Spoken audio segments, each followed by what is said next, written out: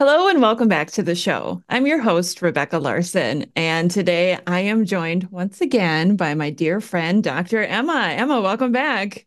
Hi, Rebecca. How has your weekend been? Oh, wonderful. We had some beautiful weather here in Minnesota, didn't we? Mm-hmm.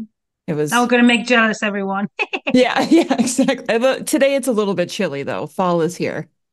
Yes. Well, the, the first day of fall was yesterday. Oh, Mhm. well, you know, the transition. Yeah, Um, we definitely felt it here. That's what is very beautiful about Minnesota. We have the four seasons.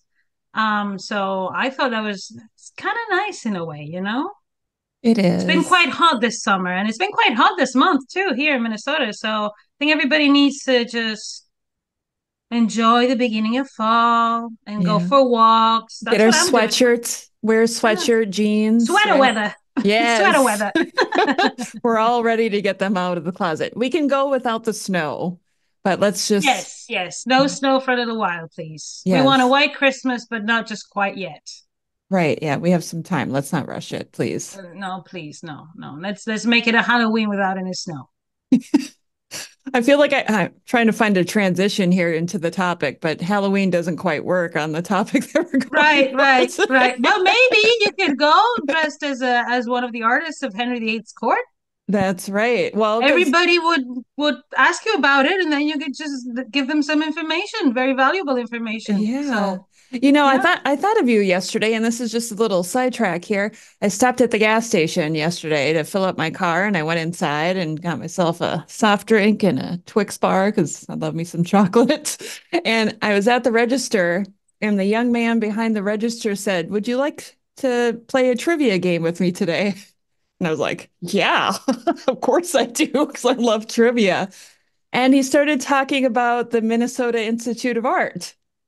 And he, oh, yeah, I thought of you immediately. And he said something and he totally lost me because he started talking about French painters. And he asked me something in regards to what French painting is housed at the Minnesota Institute of Art. And I looked at him with a blank stare and I was like, I wish my friend Dr. Emma was here because she would know the answer to this. so which which French painting? Yeah, it was some iconic one or something. There's there's several. They have very good Monets. They have very good Renoirs. They Mhm. have a very good section on French um, art, uh, Impressionists, and all the kind of French art we love. Uh, it's very close to all the Van Goghs and Oh. Gauguins and all that area too.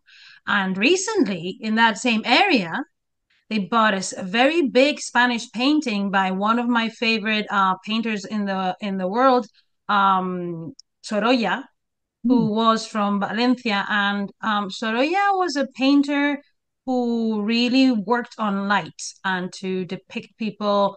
For example, his very famous his paintings of children in the beach and women with very airy white dresses. I'm sure you've seen those, where you it see the yeah, those always they're so iconic because it's just the beautiful bright scene in the beach with children playing on the beach and these women in these beautiful white gowns. Um, and Sorolla was very, very well known also for his portraits. So he painted a lot of the people uh, in high society, 19th century Spain, and with a lot of uh, very close to reality, a lot of verisimilitude and realism, going back to terms about quality in art.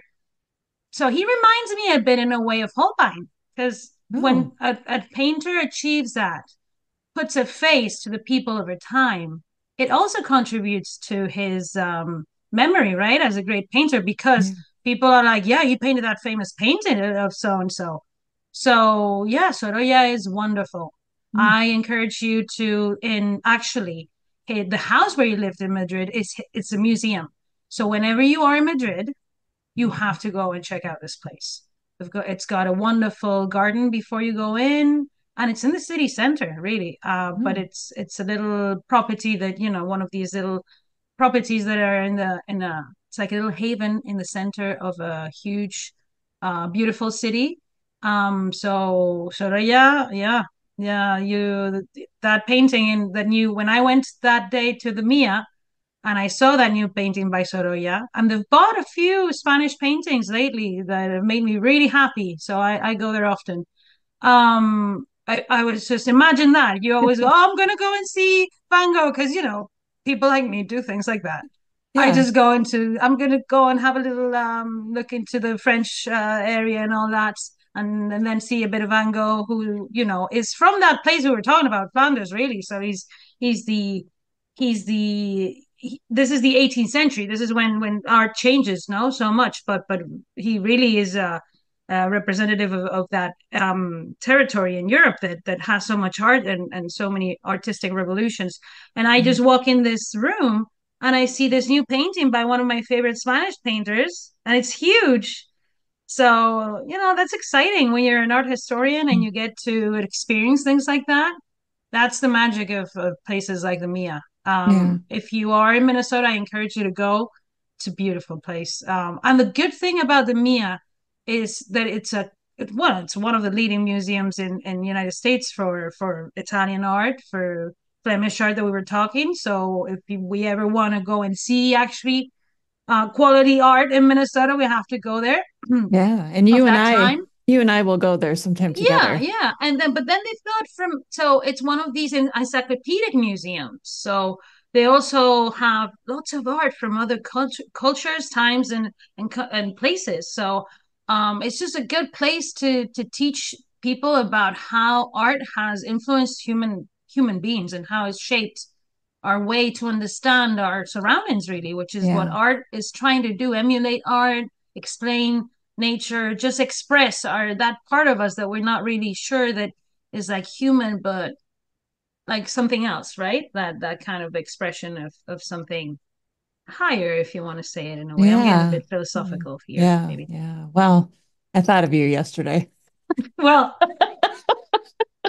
well next time um yeah you do get those once in a while those trivia questions. I got yeah how excited I got the day that it was a two to one at the I think it was when I was getting a coffee somewhere and you get like five cents off if you got it right. Oh. Oh, those five cents that I got after I answered that question Felt so good. quicker than I wanted to because they were all shocked and a bit amused. They were like, "Oh, we know what you are. yeah, you you just came out of the library just to, to have this coffee. We know what you are."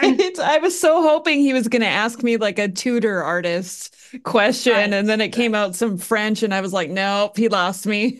I'm, oh, I'm, well. I'm out." And it was a name that I didn't even recognize. I had never heard before. I couldn't even tell you what it was. But right, right. today we're going to talk about a name that I have heard before, and we've been yes. on on this track of Catherine of Aragon with you for quite some time. And we who's kinda, that?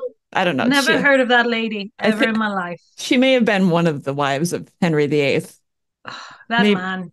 We might say maybe one of the best wives after all the talking that uh, you've done. Certainly the first, the first. Yes, and the longest. The longest, the first. Uh, the one who actually served as an international ambassadress, so the one who had an international role, you can say the other five had did great things, and they did. But I mean, Catherine Aragon was really the one who put England in the European map in the first, especially the second decade of the 16th century. This is the time we're going to talk about.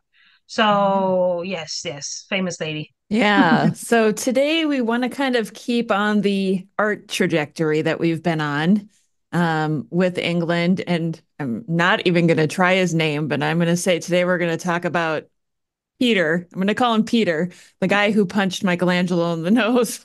okay. Pietro, Peter. Pietro Torrigiano was an artist from um, Florence, um, and that's why he has a complicated name. And yes, he, he he's very well known in, in the artistic world, obviously, because he belongs to a very select group of artists really this is if if we're talking about the renaissance these are the this is the group of people that basically put it into motion in terms of the visual arts because he was training in with michelangelo at the with the medici and we've all heard of the medici uh, which are another iconic, uh, it's another iconic name from the time, and they had relations with the Tudors, obviously.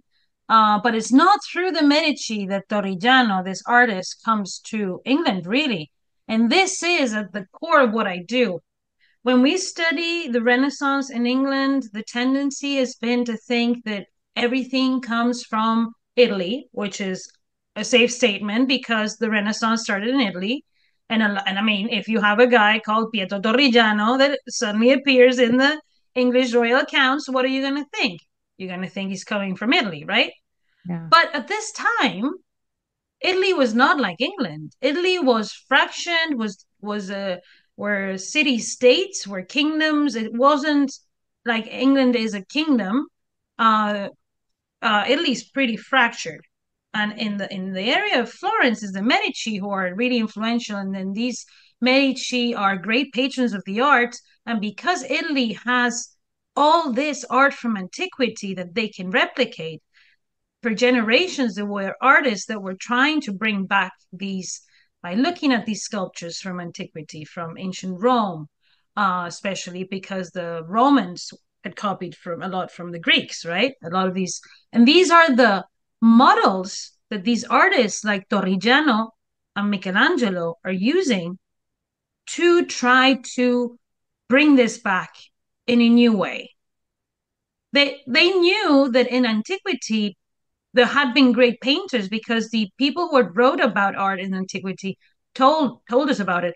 But painting is is fragile, is not like other things, and, and most of it was lost. We don't really have, but we do have stories about great encounters between uh, painters and and and and rulers and painting portraits of rulers and really in the renaissance there is not only this reception of renaissance these ideas is also linked to the idea that the individual is starting to take the central um, stage um, and in the in the case of the rulers this is very well exemplified in the appearance of all these portraits that we love and that we can make a connection with so Torrigiano is really someone who brings that, but he doesn't bring it through Italy because he has like many Renaissance artists. He has a life that, oh my goodness, this guy goes everywhere.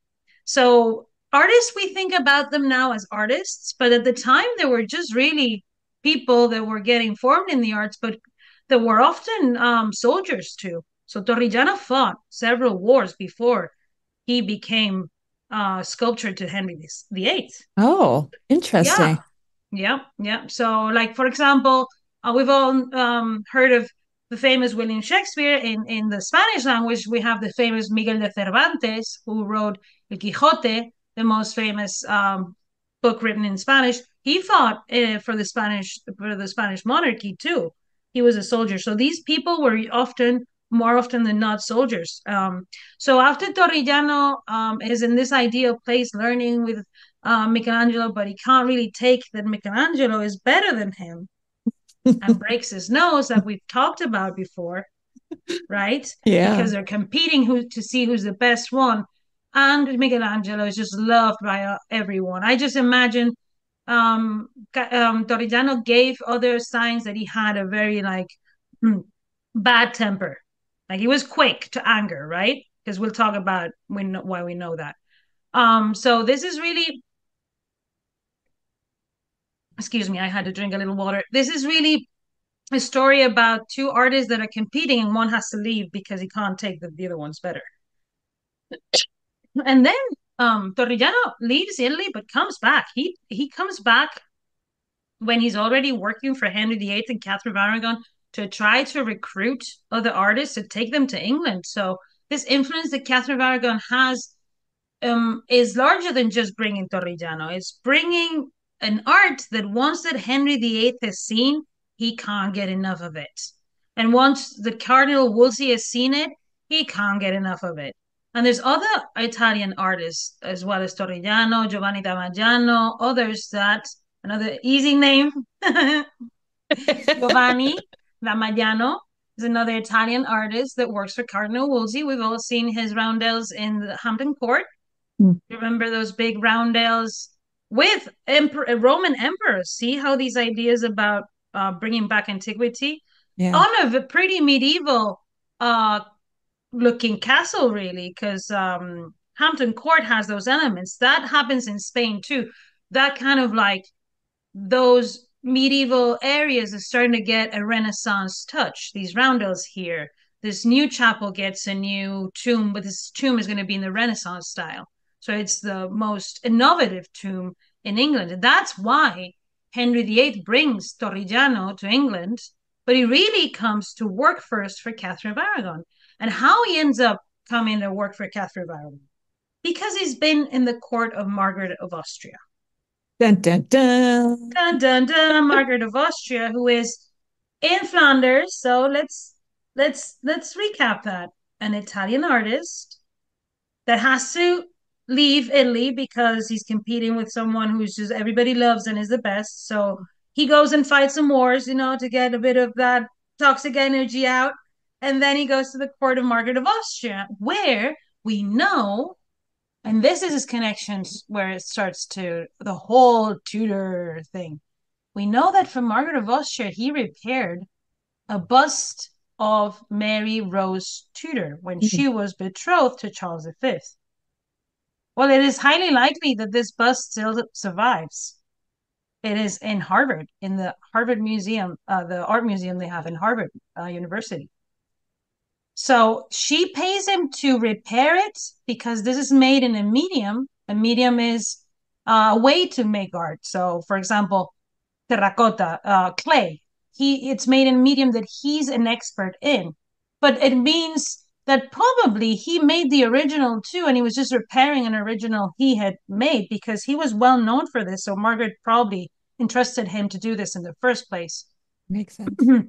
and when he does that, is when all of a sudden, but not all of a sudden, he appears in England in January of 1511, making pomegranates out of clay and painting those with other artists for the Epiphany when Prince Henry has been born. Prince hmm. Henry Tudor, the son of Henry VIII and Catherine of Aragon. Guess who was the godmother of Prince Henry? Hmm. Who? Hmm. it was Margaret of Austria. I can't imagine. Auntie Figure Margaret. that one out. Wow. We're gonna call what her do you Auntie. think? There's a connection there, maybe. Yeah. So why we know it's Torrigiano? It doesn't mention Torrigiano. It says aprons for the painters and this and this describes a lot the colors and this and everything. Why do we know it's him? Because this medium, this clay, has never been used in England before. And why do we know? Why do we know this is connected also to Catherine of Aragon? Well, first of all, because it was for a, a representation, so probably a nativity scene that was um, that was um, displayed in the Queen's chamber. And guess who was in charge of all of this? Uh, Sir Henry Guilford, aka Fun Guy. Fun guy. Mr. Fun Guy. Mr. Fun Guy prepared a little nativity scene for the baby to be to see because the epiphany was such an important um, feast in the spanish court. This is all linked to that idea that really he's an english prince but his spanish heritage is extremely important to his mother. And she's going to bring an artist like torrigiano to do something like this because in spain italian sculptures were also favored. So she's introducing a type of art that is more of her taste, more of a taste that she had acquired in Spain, in the court of her mother and her father, because she wants not because she wants to, wants to change England, because she wants to introduce those things to to strengthen the bonds between Spain and England at the time. Right, and then obviously Henry VIII must have seen this. Saw Torrigiano and said, "Oh yeah, baby, you're gonna carve the tomb first of my grandmother, then of my father and mother. And these tombs that are in the Lady Chapel in Westminster Abbey, they're just simply wonderful. Yes, they not are. Not only yes, they're not only innovative in terms of the style, because in their in the Renaissance style, it's just the way they are displayed in the place. Yeah, so I just got I got goosebumps thinking about it yes. because of how they do look. Yeah. Oh, what was your favorite part?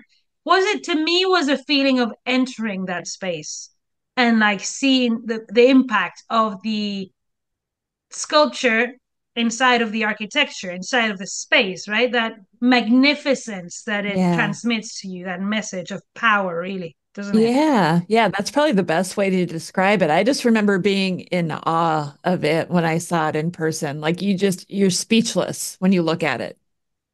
Well, that's got a that's got a translation in artistic ta terms. It's called a Stendhal moment. Oh, Stendhal was a, a person who wrote about his experience when when he went to see all this magnificent art in um in Italy. His this experience that you have sometimes when you see very beautiful art that you just become emotional and it just takes over you, control of you. You just have like a rush of adrenaline, or for everybody's different.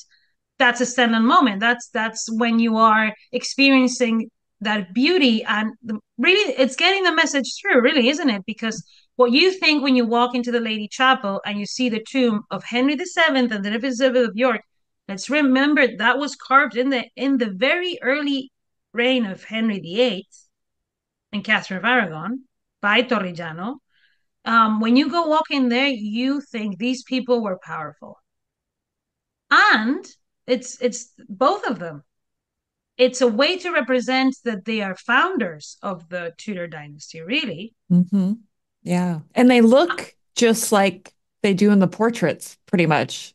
Like you look, you think of the portraits and then you see their tombs and you go, whoa, that's Margaret Beaufort. That's just like I always imagined her to look Why do you think that is, Rebecca? Because he was very talented. That's why. Well, because by the time Torrigiano was working for Henry VIII and Catherine of Aragon, they had portraits of Henry VII Sure. and the the king's grandmother and the king's mother. So he's using these. He's using these portraits because he never met them. Let's remember, Right. Margaret had died in, for example, Elizabeth had died in in, uh, in childbirth, uh, Yeah. way way before Torrigiano ever made it to England. So, uh, this is building on the memory of those portraits and their also their funerary masks, because in England that was a thing too. So those are used too. He used all of these things, and I'm sure they talked about it, and I'm sure they had conversations, and Henry participated, and Catherine.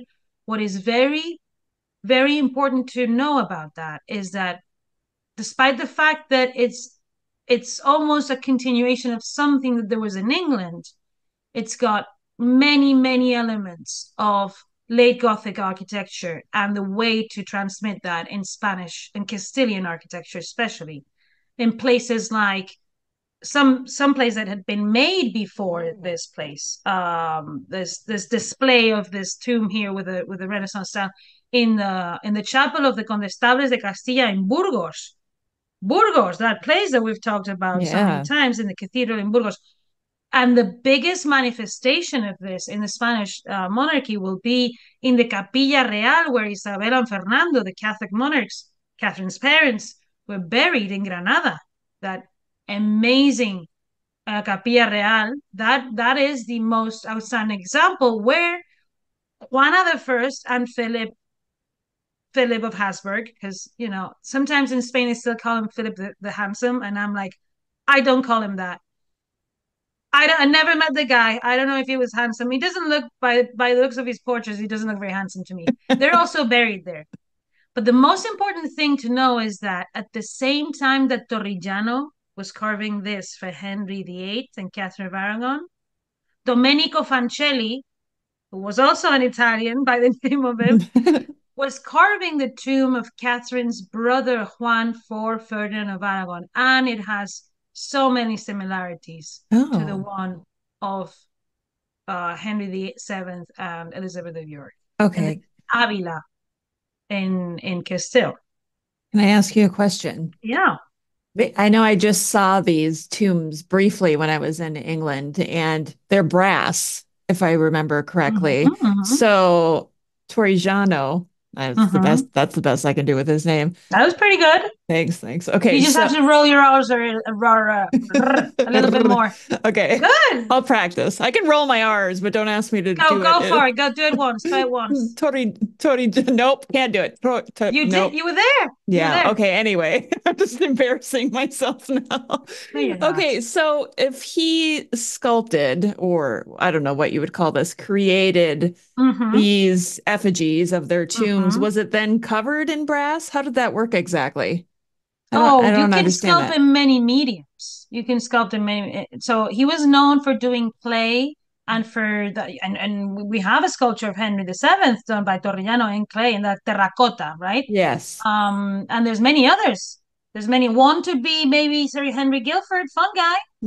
Um, there's there's many others. But sculptures and Torrigiano, Renaissance artists worked in many mediums because we because he became known for be, for sculpting clay. We all, always think of him for doing those, but um, he could he he did that. He sculpted those in in gilt. Uh, so and and so they are everything that you see there was sculpted by him. It's just the medium is different. And he did he did portraits and he painted portraits. He painted a portrait of Isabella of Portugal, Charles V's wife, after he left England, because Torrigiano leaves England. And we can talk about that. He was very talented. Yeah, he had a fight with Michelangelo, remember? I do. Because he was almost as good as him. I- it does seem like he could do anything. He really could. Well, if he was competing with Michelangelo, he could do everything. Yes, yes. That's the and that was another goal of the Renaissance artist to do everything, to be the ultimate man, to Hmm. be able like let's le- let's think about Leonardo da Vinci, right? Another oh, it's just about Italians today. yeah. Uh maybe we have to do a, a, to- a Tudor tour in Italy, Rebecca. oh, here we go. I just want an excuse to go back to Italy. So beautiful, beautiful. So, um, Leonardo da Vinci was designing uh, engineering, really, in many ways and respects, these machines. So, uh, mathematicians worked with artists. We know that uh, Nicolas Kratzer, who was a who was a German um, astronomer, worked with Hans Holbein uh, to do the ceiling at the Greenwich festivities in 1527 because it was planets and like they wanted it to be accurate. So the Renaissance uh, people were more in tune between the arts and and technic and technical things that we that we think. So all these people collaborated a lot. And think about the fact that it was all tied in, tied to um festivities, like we said, and and, and when we call him the fun guy, uh, it's real. It's real that uh, this is at the forefront of artistic innovation, the festivities, really, because a lot of the things were revamped, a lot of the things were repainted. So you need a lot of people to, like, when you do any kind of a, um, event, really, but when you want to everything to shimmer and to to seem magnificent, you have to have lots of people who can help you with the props but then really good artists to make like statements, right? Like Holbein, who comes and the first thing he does for Henry VIII, what is it? It's painting a view of Thérouanne, that city that he had captured in 1513, for the French ambassadors to see and be and he, and and the and the chronicle tells us that Henry VIII started um when he was they were having the banquet, the, the view was behind them, and he stopped uh, to let them know, turn around and let them know, what do you think of my my and it was framed by two triumphal arches. Why two?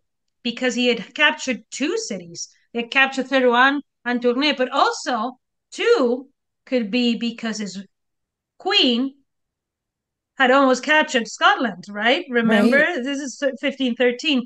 So these festivities always have political intentions behind it.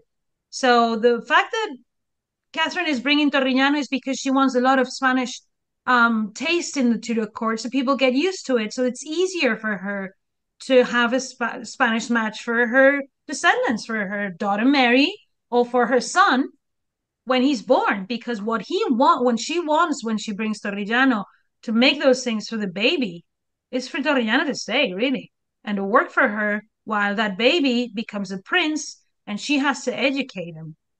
So that's really where all these new artists and new things are coming from. Is from her, um, Catherine having this necessity because really in the far, first five years of the reign, she's in charge. This is a bomb today. well, she was a little bit older than him too, so I'm sure that had some was, weight. she was in charge. Everybody knows it. Right. Yeah, there's no disputing that she had I mean, a lot more control Wolsey's back then. still not in the picture. Wolsey is rising. He's rising. He's he's out of the, the butcher shop, but he's not quite in the court. Well, he is in the court, but he's not quite yeah. next to Henry. He, he will. He will be the substitute right. of Catherine. But think about this. Henry the Seventh dies in April. Henry VIII is 17. Tall, handsome, whatever you want. 17. And he has been almost a prisoner since Arthur died. And he hasn't been raised to be the heir before that. So for all we want him to be this um, big chunk like Holbein painted him, and we talked about how that just is like a way he wanted to present himself, not probably quite how he was. Right. Um, he what is his first decision when his father dies? Mm, to execute Empson and Dudley. No. Mm. To marry Catherine of Aragon. Oh yeah, duh. That was duh. duh. Yes. Why? because she's like, darling, we can finally do this, and I will take England to the glory days again with you.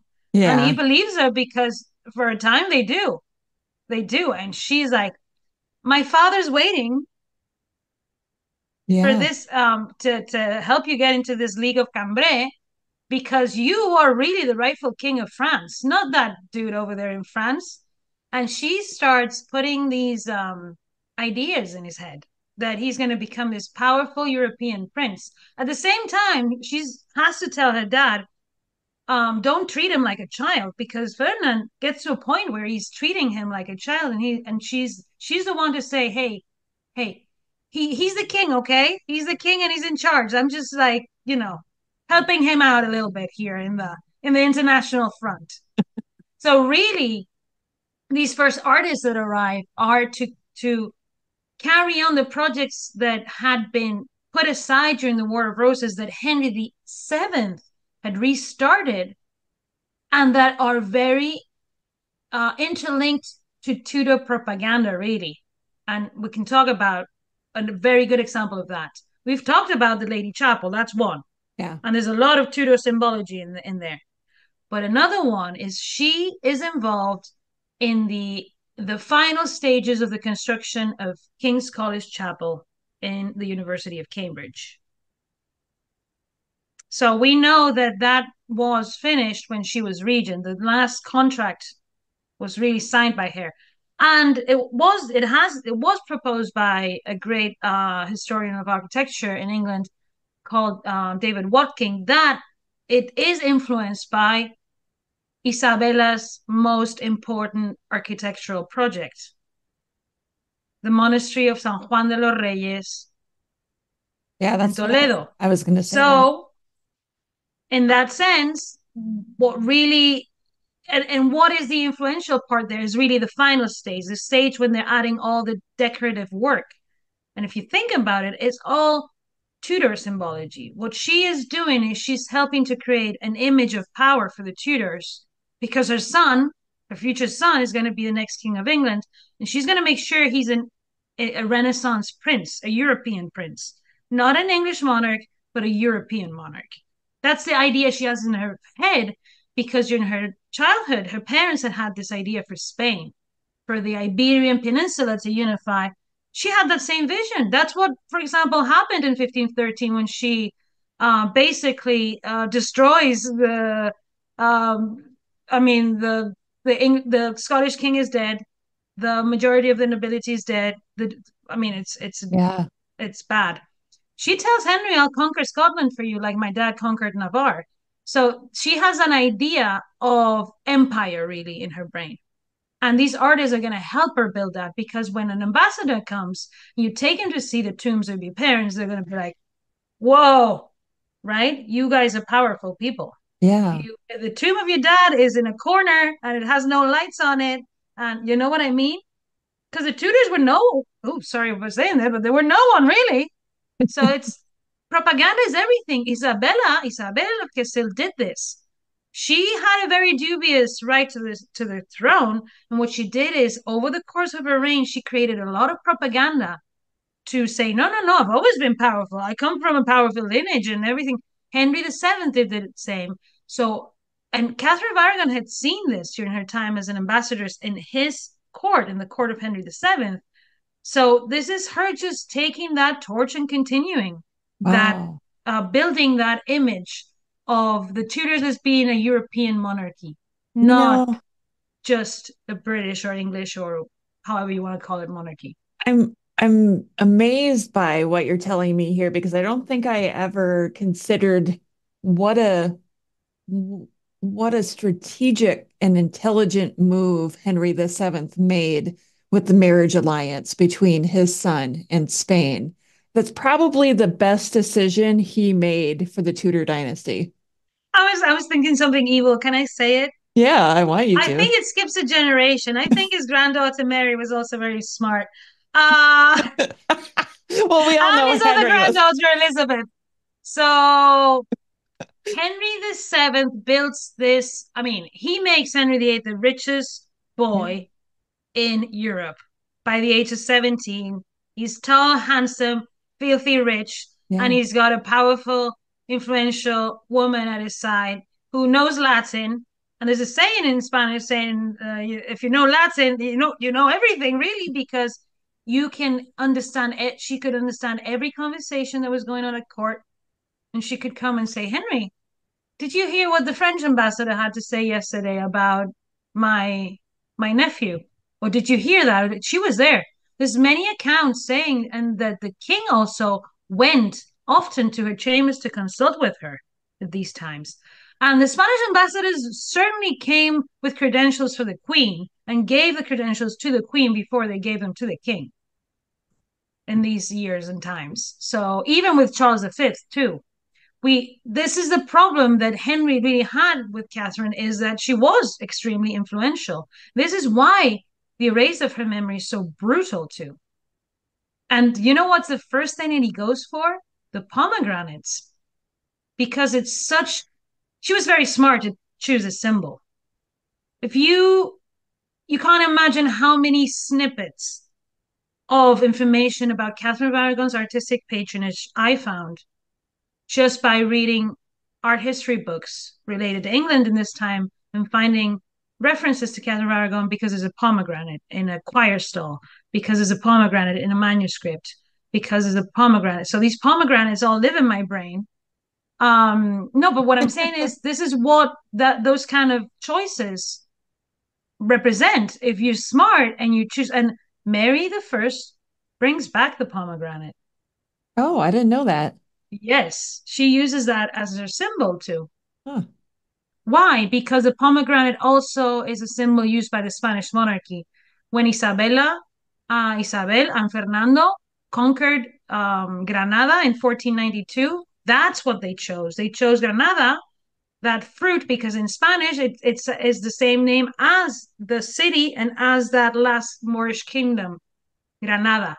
So it's just a, it's just it visual.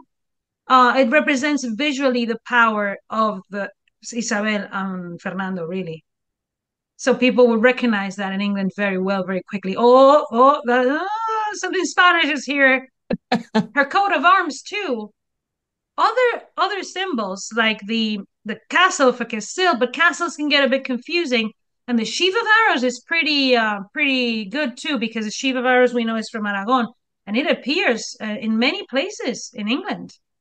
Projects that she was involved in, or courtiers that did things to impress her because they knew she had an affinity with the arts and that she was a patron of the arts and the humanities and she favored that in England. And basically she educated Henry to have artistic taste. Thank goodness for her. Yeah. This is why we have the Holbeins that we have. Yeah. It's all thanks to her. She's the one who enabled really the arrival of Holbein so the reason why we have this track of all these people in the Tudor court that we can you know, we see in our brains and talk to almost is because Holbein came and I mean, you everybody knows that, right? This is so obvious visually. The revolution in the in the, the all these paintings, all these portraits, all these drawings, because we have a one of the Holbein books um, that was kept in the royal collection. So originally it belonged to Henry VIII. Well, now we have to ask questions like, did it belong to Henry VIII originally? because everything is marked with the king's um, because it, it, it's in the royal collection and it's from that time and it never left the royal collection well it was from henry viii was henry VIII appropriated many things certainly appropriated all of catherine of aragon's goods when she died anne boleyn took some but henry took for example most likely the desk that is still to, today in the uh, victoria and albert museum decorated in the Renaissance style. Very beautiful desk. Uh, that was that has um, H's and K's and and sheaves of arrows and castles. Do you think that belonged originally to Henry VIII? Probably not. it's highly unlikely. It's, uh, something that says H and K, love, love, love. I love you so much, and my husband, I love you forever. Do you think that's going to be yes. something that Henry VIII is going to be commissioning 1526? I mean, it does. He he is kind of uh, self-absorbed. I mean, other than the sheath of arrows and castles. yeah, but the, this was painted by the Horenbouts, so that's the 1520s. Like, for mm. example, the miniature portrait of Henry, where it says H and K, and he's clearly in it's and in, in the, the, the another one that's clearly painted around the same time. It says that he's 35. He was 35 in 1526 and the Horenbouts are, are, painting pictures that says H and K are married and are super happy together. so why do you think they're painting these pictures? to send to Anne Boleyn? Maybe. Maybe that's what they. Maybe that's that's that's where Catherine sent it. Maybe she sent it to Anne Boleyn to remind her who was the queen, who the king was committed to. I'm sure she had. um I'm sure she sent warnings, not bad warnings, but warnings of like, look at this. Yeah. So I'm sure she sent her pictures of Mary too, because that's what she did to other ladies. We know she gave miniature portraits to Catherine Parr's mother, and Catherine Parr inherited those. Yeah. So when um uh, maybe you know when when the ladies came back from being in the court of Margaret of Austria, like like Anne Boleyn or Claude of France, like Anne Boleyn, maybe they received these portraits so they could display that they were, you know, that they were loyal to the queen.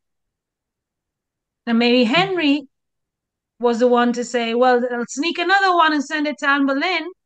So she knows that, you know, I really want to be with her.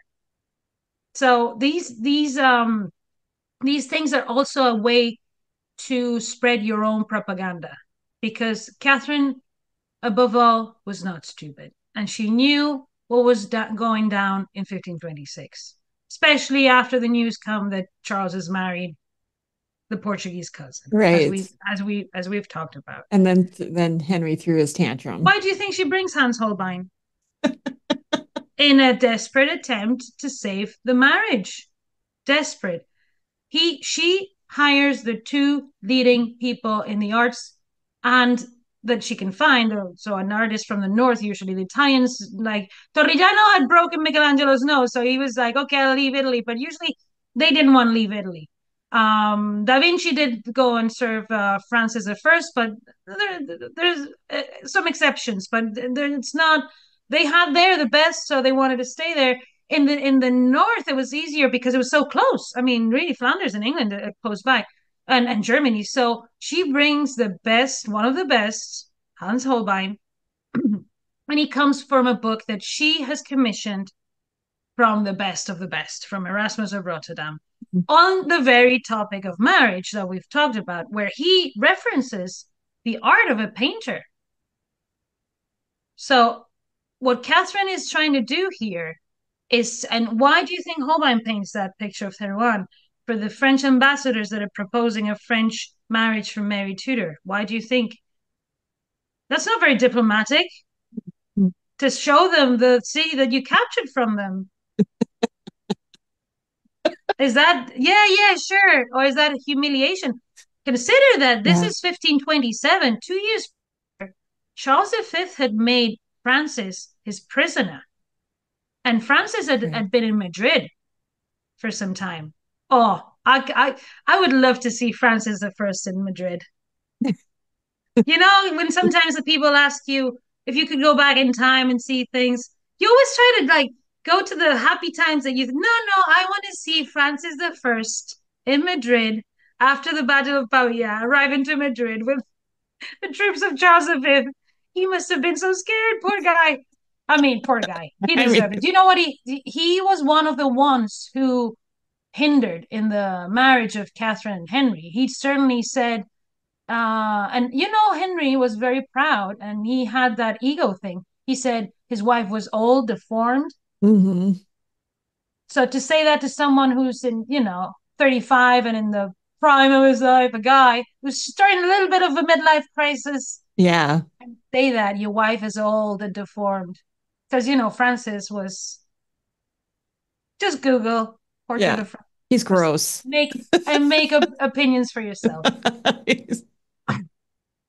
I mean, could there be anyone more overrated? Right, uh, exactly. I know. But you were the king. You were you were attractive just because you were the king. Right. Well, obviously. And when you were a queen, you were not attractive when you were 40 and couldn't bear any more children. And kings that were, you know, kings that were old and well, they were still kings, but um what I'm saying is is that this is all a strategy, really, a political strategy. Art is linked to political strategy to a point where the Whitehall collection that I've studied, that it's first uh, documented in 1542, it's all a political statement of the battle between the Spanish monarchy and France in England. Because you have portraits of Francis First, but then portraits of the Battle of Pavia, but then pro- portraits of of Charles V, uh, Isabel of Castile, and so on. Why these portraits hanging with battle scenes? Because you go there and you talk to the ambassador and say, "Remember Pavia?" to the French ambassador, and remember this is remember Charles. He's he's my nephew, and you're because the Queen of of England, Catherine of Aragon, could speak French. She could talk to the French ambassador in French Oh, come, I'll show you my collection of paintings in, in Whitehall. I have a great painting of Pavia that you're going to love. I love it. Your king was captured by my nephew. I There's love even, her. There is even the only double portrait that is large in the painting collection of Henry VIII that still survives in the Royal Collection Trust to this day is a double portrait of Francis I and Catherine of Aragon's niece, Eleanor of Austria, where she is holding a symbol of power, and he's shown like, like, honestly, like, a, like he's sleazy, and there is, um, there is someone in the background who is is thought to be Triboulet, who was this um jouster that was very famous in the court of Francis. So this is a painting mocking Francis First and kind of like putting the power in Catherine of Aragon's niece, because she had to endure this marriage to Francis, he treated her horribly. He treated her poorly. And she did it for duty. The, the women in the Spanish monarchy were like that. So, this portrait, do you think Henry VIII commissioned this portrait of the niece of Catherine of Aragon taking power in France? Honestly. yeah, probably not and Francis looking sleazy, you have to go and Google it. We'll put it in the show notes or yes, because it's you you let you let me know what you think about Francis after you see that portrait.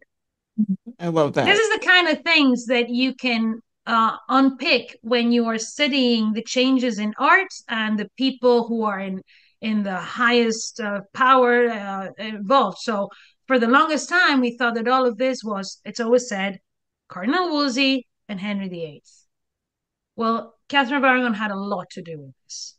And when later on Anne Boleyn or Catherine Parr or other women or, or even Mary the First uh, does other things artistically, they're innovative, they're usually linked to these projects that Catherine started, really.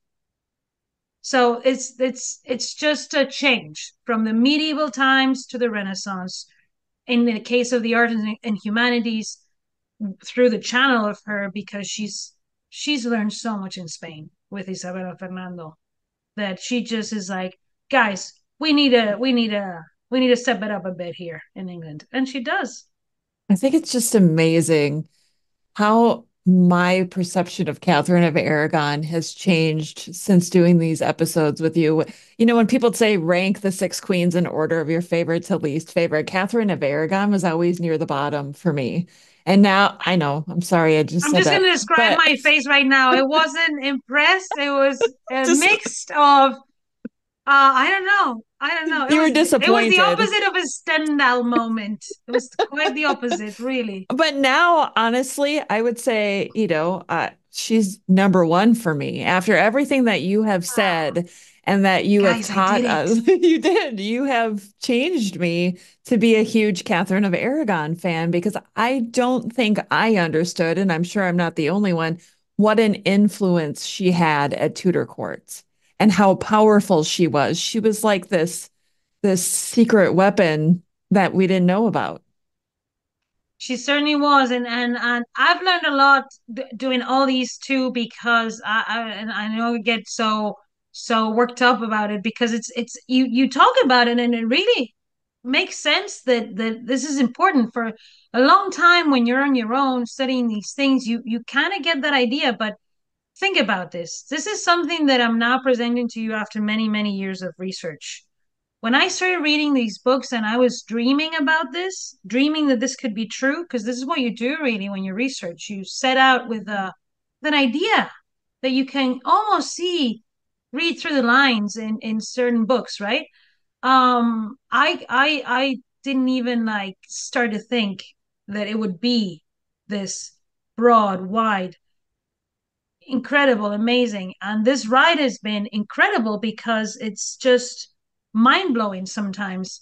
Um, and it's got to do a lot with the time. And I think that it's also a reflection of the times we're living in a way, because I think we are in a big time of change. And I think the end of the 15th century and the beginning of the 16th century was such an important time, but it's not very well studied in many aspects still and it can teach us so much about for example why do i study art uh, and culture? Because th- that usually brings people together. So if you if i send you something beautiful and you love it and you and it's a picture of me and i look at my best don't you think you're going to want someone to paint a picture of you looking your best so you can send it to your friend? When we study these things and focus on these things uh, we can see how uh, things, uh, places like England and Spain have exchanged beautiful things that have enriched our culture because these things then stay in royal collections that end up either um, in the Prado Museum because that's the origin of that museum. It's the Royal Spanish Royal Collections, and that's why Mary Tudor, the painting of Mary Tudor by Antonius More, is there, is because it was painted to send to Spain because she was going to marry the next uh, king of Spain in 1554. She was married to him, right? So this is why she was painted. Or other things that we have in the Royal Collection Trust, which is the same origin. Is in this case, it still belongs to, to His Majesty Charles III. But these are, I can't even tell you how many of the artworks in these two collections are connected mm. and tell us so many stories about our common um, culture and and history between well, England and Spain. Emma, seriously, we're gonna have to do another episode to continue on this topic some some way some sometime down the road. I know you're super busy right now. oh, I, th- I am. I am. I think we're going to have to to stop today and leave okay. the rest for another time because I'm already in shock and in amazement of all I've learned today. And I know all of us need to kind of sit back and absorb all of this amazing Catherine of Aragon information that you have been giving us.